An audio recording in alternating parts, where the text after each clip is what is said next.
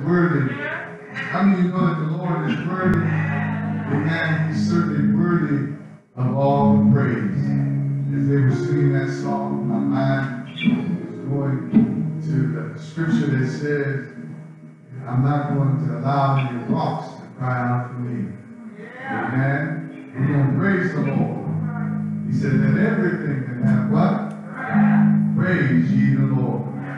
And we will worship. We will praise him. David said, I will bless the Lord at all times, and his praises shall continually be in our mouth. He said, My soul shall make a boast in the Lord, and the humble shall hear thereof and be glad. And then I like what he said, Oh, magnify. Amen. Oh, magnify the Lord with me, and let us exalt his name together. It's good to exalt the name of the Lord. It's good to lift up the name of the Lord, especially in times of trouble, especially in times of refuge, in times of reflection, especially in times of sadness. You got to reflect on the Lord. David himself said, I encourage myself in the Lord. When he was down there in Ziklag, and he had lost everything. Enemy had stole his family, stole his treasure. Amen. Not only his family, but the families of his army. And they were going to turn on David. But David sought the Lord. How many know it's good to seek the Lord? To seek the Lord. Amen. David sought the Lord. And the scripture says that David asked the Lord whether or not he should pursue. And the Lord told him that he should pursue. But before then, the Bible says that David encouraged himself. Amen. You got to encourage yourself in the Lord. Hallelujah. Be glad and be happy that God is on your side. There's a lot of encouragement in the Word of God. There's a lot of encouragement in the fellowship of the saints of God. There's a lot of encouragement when you pray before the Lord. Amen. God has various means of giving us encouragement. Even when we look and see the wonders of heaven and earth, you should be encouraged. You should know that God is on the throne and that he's worthy to be praised. So right now, we're going to change the order of our service. My God, I'm so excited. I'm so happy to be here uh, with you all in the presence of the Lord. Truly, God is our strength and our shield and our buckler. Amen. We're going to ask uh, Sister Sharice if she would uh, take up our offering basket. And um, uh, thank you, Lord. Amen. Amen. And um, walk around. Hold on, sis. Hold on. We got. I like your enthusiasm. You, you got enthusiasm. Thank you, Lord. As we get our tithes and our offerings together, amen, so we can give unto the Lord, uh, we want you to remember uh, also that we have online giving, which is Tithely. Uh, by now, people should have a recognition of, of what that is. Uh, on to Tithely, download the app, and find our church. You should be able to give. And also, too, uh, those people are still using our Dropbox, the secure box. Amen. That's another means to give. And we're also uh, giving through our uh, service here on today. And we certainly do thank God and praise God for your giving. Uh, it's an opportunity for you to be blessed. Amen? Thank you, Lord. When you give, you show uh, reverence unto God. That, Lord, you are my supply. Lord, you are my strength. Lord, you are my provider. And God loves what kind of giver? A cheerful giver. God wants you to give cheerfully. And He wants you to be a liberal. Let's not that. He says He wants you to be a liberal giver. He said, if you sow sparingly, you shall what? But if you sow abundantly or bountifully, you should reap how? Abundantly. Amen. So uh, we want you, the church, to stand. Thank you, Lord. And uh, as we are standing, uh, Let us pray. Gracious Father, in the name of Jesus, Lord, we thank you for this opportunity to give and to sow seed into the kingdom. We ask you, Lord, that you bless each and every soul here on today that is sowing seed into the kingdom. Bless them 30, 60, and a hundredfold. And also, Lord, remember your promise that you will open up the windows of heaven, that you would pour them out blessings that they don't have room enough to receive. And remember your promise, Lord. You said that you would rebuke the devourer. And Lord, we pray, Lord, that we know that you cannot lie and that you cannot fail. And Lord, we trust in your promises and we give you thanks. In Jesus' name, amen and amen. And Sharice, I want you to come on up to the front here. Amen. And as you're standing, I want you to do this kind of like in an orderly fashion. Just go down the aisle. Uh, go down the aisle. There you go. Down the front.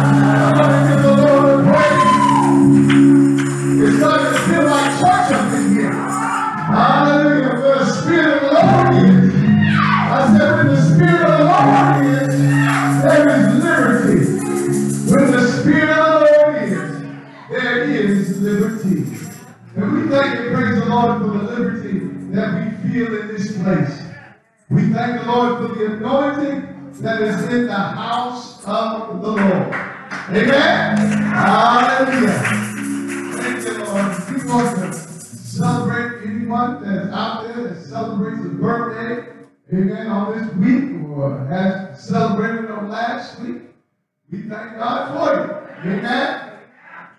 And we also want to thank God for all of my graduates. Amen.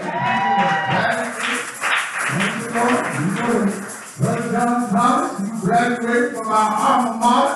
Amen. Mercyhurst College. Hallelujah. Amen. And he's uh, looking to start his graduate work. Amen. Thank you, Lord. Come give God a praise. Amen. Going to work with the undeserved, uh, underserved. the. Amen. Hallelujah. We certainly do thank God uh, for such a man like that. I see him one day running his own nonprofit. Amen. Serving the people uh, whom God has loved and put in, in his care. So we certainly do thank God for that. Thank you, Lord. We uh, appreciate you all coming out uh, here to be with us on today. We're Christian Ministries. Amen. We, we have gone to a two-tier type of service, uh, one beginning at 9 to 10.30, and then our 11 o'clock service until 12.30. And this is giving our members an opportunity uh, to come into the house of the Lord and be safe. Um, we've structured a facility here where we, uh, we have social distancing and we require masks. And our uh, members are out there, our monitors are out there taking temperatures as people come in. Amen. And we're requiring that people use the hand sanitizer or wash your hands. Uh, thank you, Lord, before entering. And we just want to be safe. Amen. Thank you, Lord. And we'll be sterilizing between services. And then uh, we've also uh, hired a professional service, and they will be coming in twice a month uh, to do deep steam cleaning um, to uh, clean our, our church. Amen.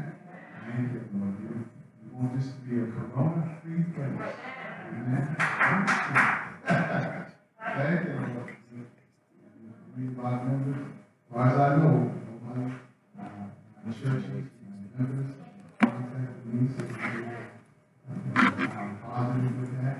And we thank God for that. Amen. Amen. God is good. Amen. We have to preach and talk about the blood of Jesus. We have to trust in the blood of Jesus. Amen. Be, be cautious, be safe. Do not tempt the Lord, but we can't live our lives Amen. Gain knowledge and wisdom and understanding. And we do those things that are necessary. I thank God for a little bit of knowledge. a little bit of knowledge goes a long way. Amen. Thank God for the little bit of knowledge you have. Amen. That little bit of knowledge goes a long way. So we certainly do thank God and praise God. Amen. What He is doing and what He. And uh, I want you to uh, turn with me uh, to the book of Acts. The book of Acts. You know, this is Pentecost. We call it Pentecost month. Thank you. Spirit of God descended 50 days after Jesus' resurrection. Of Acts, chapter number 2, talks about it when the day of Pentecost had fully come. 50 days uh, after Jesus had offered himself up as Passover. And Jesus offered himself up so that he could die for us, so that we could be free to serve the Lord. Not free to serve ourselves, not free to serve man in that respect, free to serve God. And we have to remember that what Jesus did, he accomplished. There's some passages in the scripture that talks about uh, Jesus would not fail in, in his assignment. And we know that Jesus had not failed in his assignment because he sent back the Holy Ghost. The Holy Ghost is evidence of Jesus reaching the destination all the way to the throne of grace to give us what we need in these times of trouble. And we certainly do thank God for the anointing, we thank Him for the power, and we thank Him for the word. I want you to go with me to the book of Acts. You can stand in Acts chapter number 2. We do thank God for your liberal giving. Remember, you stand after that. We appreciate that. uh, giving unto the Lord. Acts chapter number 2. And we want to begin reading, skip down to verse 14. And as we have already stated, the Holy Ghost had already fallen. They had began to speak in tongues that the Spirit of God gave the evidence. And they had already uh, started to talk about all the amazing marvelous things that God had done. And the beauty of, of this was, was that they, God had assembled all nations under the heaven to be in Jerusalem at that particular time so that they can witness the amazing power of the Holy Ghost. So when they spake in tongues as the Spirit of God gave the utterance, tongues being they spake in different languages that were audible, that, that spoke of the blessings of the Lord, the marvelous works of the Lord. And as we know in the scriptures that uh, once this had happened, they had some detractors. They were wondering what, what needed. Amen. And then some rose up and said that these men are drunk. And how can you be drunk? talking about the marvelous works of God. Thank you, Lord. Talking about the miracles that God had done. But they said that they were drunk. And Peter rose up and said that these men are not drunk as ye suppose, meaning it is but the third hour, 9 a.m. in the morning. And that's where we pick up on our, our lesson. Verse 14, it says, But Peter, standing up with the eleven, lifted up his voice and said unto them, Ye men of Judea, and all that dwell at Jerusalem, be this known unto you, and hearken unto my words. For these are not drunken, as ye suppose, seeing it is but the third hour of the day. But this is that which was spoken of by the prophet Joel. It. And it shall come to pass in the last days, saith God, I will pour out of my spirit upon all flesh. And your sons and daughters shall prophesy. Your young men shall see visions, and your old men shall dream dreams. And on my servants, on my handmaidens, I will pour out in those days of my spirit, and they shall prophesy. Gracious Father, in the name of Jesus, Lord, we certainly do thank you.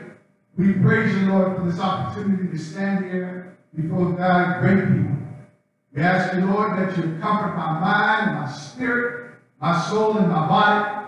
Bless those that are hearing this great word on today. And Lord, we bind every evil spirit, every demonic power that would come to hinder. Father, we thank you. We praise you. In Jesus' name, amen and amen. Amen. You may be seated in the presence of the Lord. And I just want to sincerely take a thought for today from that 16th verse. But this is that which was spoken of by the prophet Joel. I just want to take a thought saying that this is. This is. Can we say that together? This is that. And Peter, he begins to literally preach from the prophet, the prophet Joel. And as he begins to preach from that prophet Joel, he literally quote from that particular book, he begins to literally talk about what was prophesied and what was talked about at that particular time. And the book of Joel is a very interesting book. That book has three poetic chapters in it. And it's a book that talks to us about God and it talks to us about repentance. In that book of Joel, it really doesn't give an indictment of sin. The book of the prophets, they generally tell you what God is angry about. But Joel seems to be a student of the scriptures, and he, in his book, kind of goes straight to the uh-huh. point to call the people to repentance. And he does this because he expects other people to have taken the time out to read Ezekiel and to read Isaiah and Hosea and all of the prophets. For in it, it tells why God was angry with his people because they had sinned against him and he had led them into captivity and he was bringing them out of captivity, out of their bondage that he had sent them in for 70 years. But as I said, that the book of Joel, whose name means Jehovah is God, he approaches it with I call a chronicle. He gives a chronicle what God is seeking for in these last days. He's talking to them about how God is looking for motivation. He's looking for judgment. And God is looking for hope.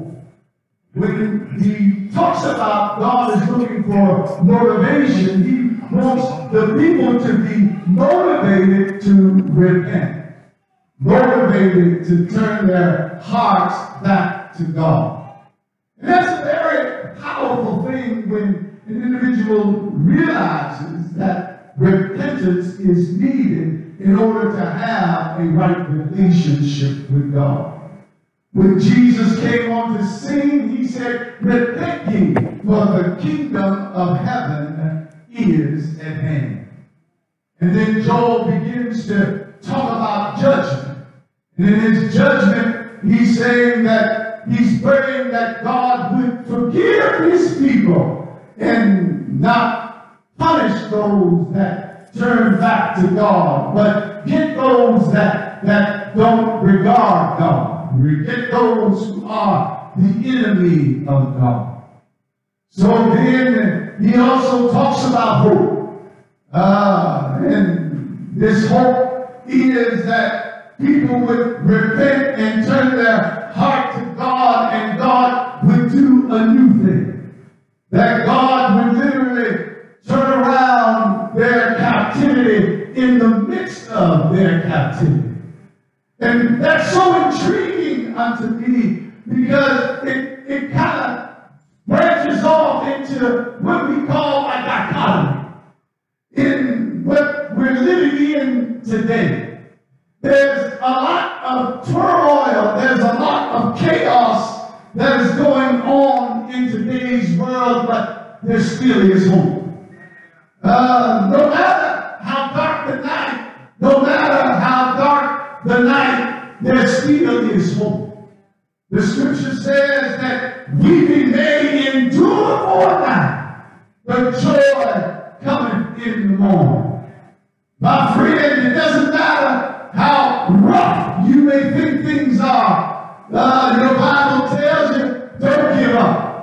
The Bible tells you, don't give in.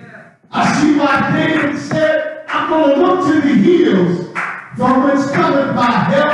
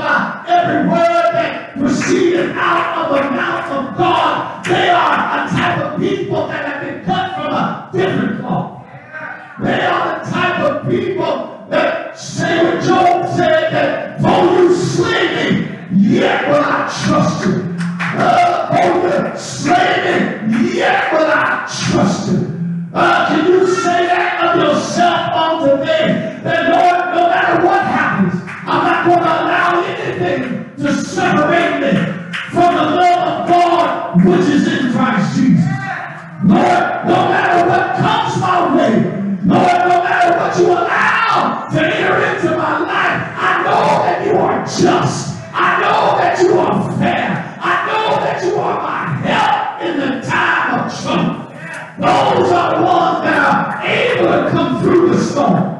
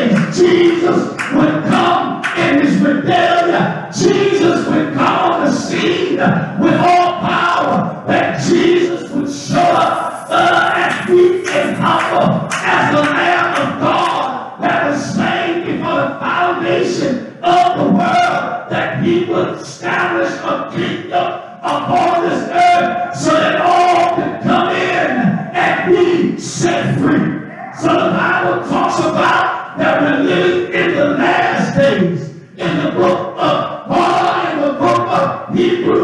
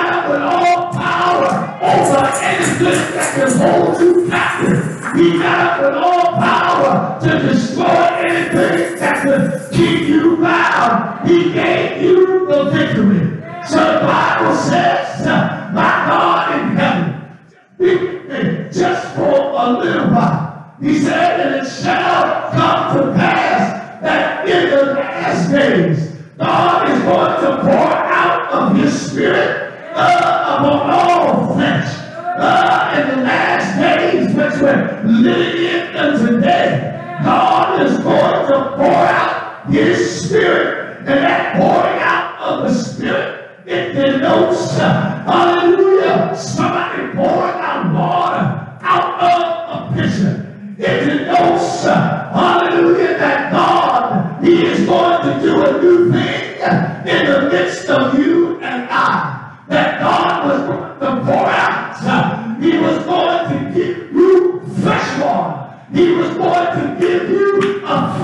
authority. It reminds me of Jesus. Uh, My God, I'm getting ahead of myself. It reminds me of that rock uh, uh, that was rolling down in the wilderness. Uh, and Moses smote that rock.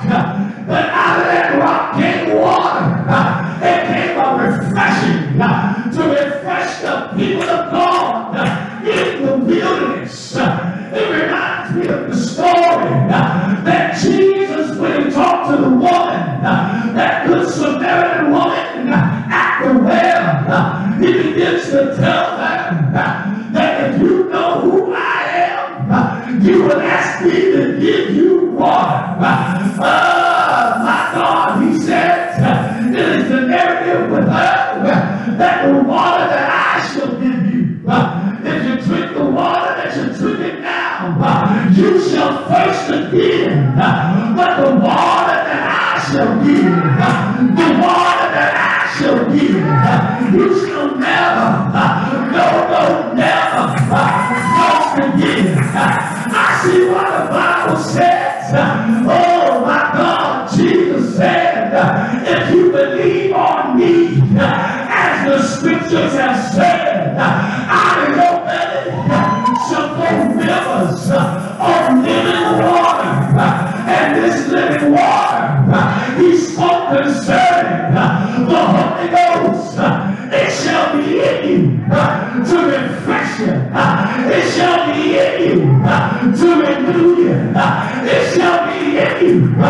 could be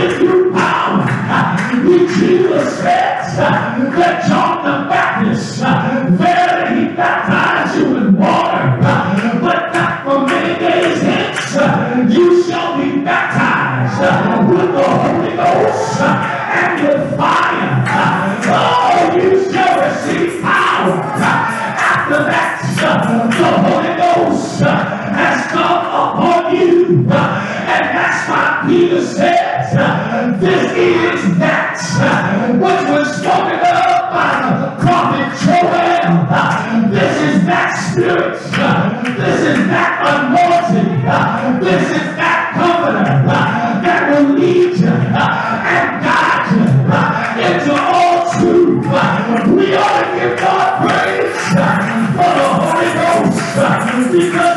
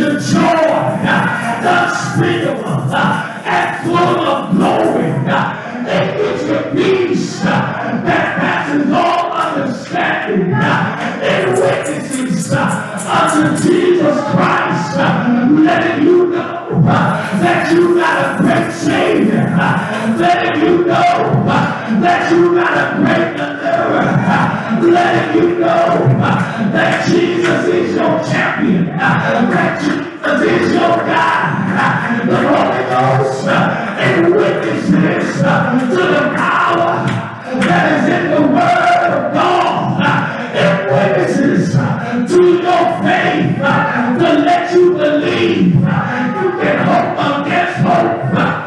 with hope just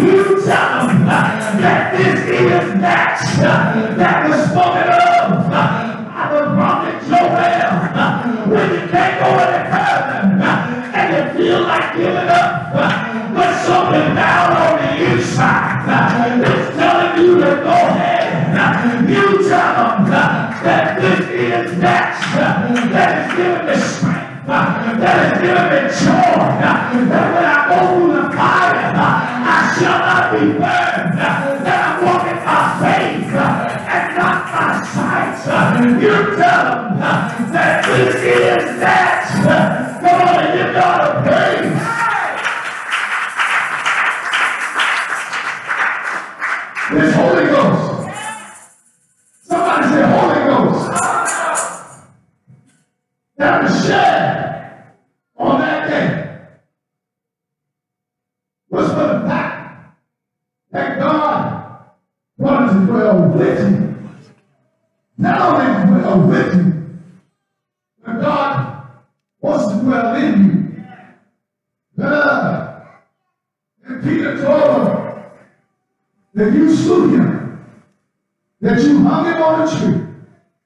by the predetermined counsel of God.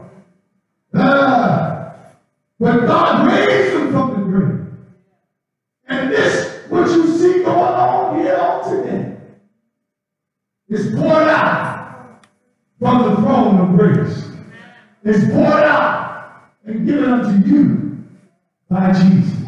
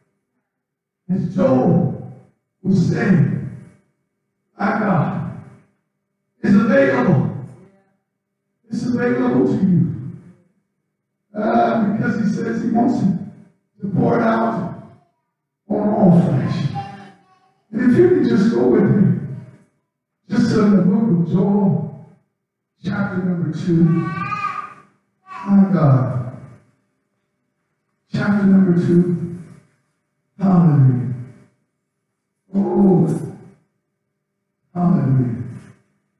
Joel chapter number two. You find my scripture. I want. Hallelujah. Chapter number two. And verse number 12. Thank you, Lord. If you haven't said amen. Joel says this. And this is the crux of his message. He says, Therefore, also now, say the Lord, turn you even to me with all your heart, with fasting, with weeping, and with mourning. Verse 13 says, And rend your heart, not your garments, and turn unto the Lord your God, for he is gracious and merciful, slow to anger, great of great kindness, and repenteth him of the evil.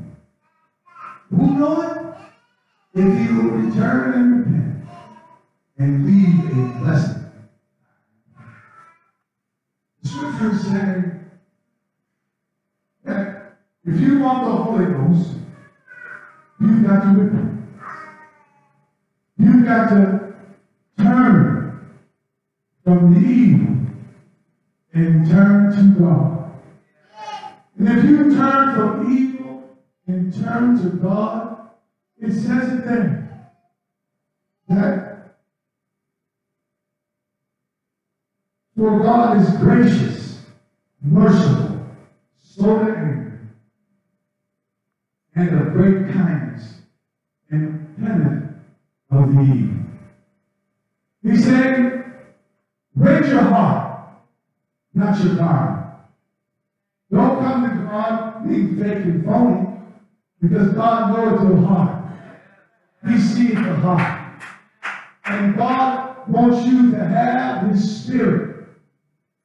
Joel was looking toward a day where God had would fulfill in the Scriptures that He would give you a new heart and renew a right spirit within you. That's why when the people said to Peter, after he got through preaching, they said, Men and brethren, what shall we do? Peter said, Repent. Now, be baptized, every one of you, in the name of Jesus Christ, for the remission of your sins. Check. He said, And ye shall be filled with the precious gift of the Holy Ghost. God wants to give us the Holy Ghost. He wants to show himself strong in us. The Bible says that you being evil know how to give good things to your children. How much more? Tell your neighbor how much more shall your Father give the Holy Ghost to them that ask you. Jesus, hallelujah, he is the giver of the Holy Ghost. If you call on the name of the Lord, thou shalt be saved. If you ask him for the Holy Ghost. But you got to repent. You got to say, Lord, I'm done. I'm done. I'm done. Hallelujah. You know, you need the Holy Ghost that leads you to repentance. Hallelujah. You got to say, Lord, I'm. I'm finished. I want to live right. I want to do right. I'm convinced that people who are struggling with getting the Holy Ghost, they haven't came to true repentance. You know why I'm convinced of that? Because the Lord is gracious. The Lord is merciful. And though, though uh, evil is chasing you, God said, if you repent, he'll repent of the evil. He'll turn. And he'll give you the Holy Ghost. And wouldn't it be contradictory if you were building a kingdom and your subjects come to you and repent, and you say, you look at them and say, nah, go ahead. They repent truly, you look at them and say, nah, go ahead. Wouldn't that be contradictory? Your God is wiser than us. Your God is wiser than you and I. He, he wants to build a kingdom. He wants you to be saved. He wants you to be delivered. But what holds you between two of these? If God be God, serve Him. Trust in the Lord. If you need help, if you need repentance, turn unto your God. And God will give you what you need. Clap your hands and give God a praise. Hallelujah. Let the church stand. This is the awkward point. You know, if there's anybody that want to get baptized in the name of Jesus, raise your hand. Amen. We got a candidate that wants to get baptized in the name of Jesus. Our protocol is, thank you, Lord, she will go back and get the clothes together, put them on the table, and then you take them, take them to the restroom, change it to those clothes, and we'll give you uh, another mask so that we can baptize you in, and then you'll put on your mask that you have on now. We thank God for you. Hallelujah. My God. And if there's true repentance, God will fill the precious gift of Holy Ghost. Come on and give God a praise. We're living in the last days. We're living in perilous times. And God is truly on our side. Is there anybody that desires prayer? Hallelujah. Thank you, Lord. Well, let us pray. Gracious Father, in the name of Jesus, Lord, we certainly thank you for this anointing. We thank you, Lord, for your presence. We thank you, Lord, for the power that is here on today. Lord, we ask you to look upon the soul that is going down in your. Lord, that you fill it with the precious gift of the Holy Ghost. Give us strength to believe. Give us strength to trust in thee. Hey, hallelujah. You're gracious. You're merciful. You're abundant upon kindness. And Lord, we thank you that you repent of any evil. And Lord, help us. Help us and strengthen us. Lord, let your grace rest upon Christian ministries. Let your grace rest upon the body of Christ. And Lord, bring us together in unity and love. Father, we thank you and praise you. In Jesus' name, amen and amen. We'll lifted hands, one Lord, one faith, one baptism. In Jesus' name, amen. Amen. Just give somebody an arm up. Hallelujah. And know that your God is able. Praise the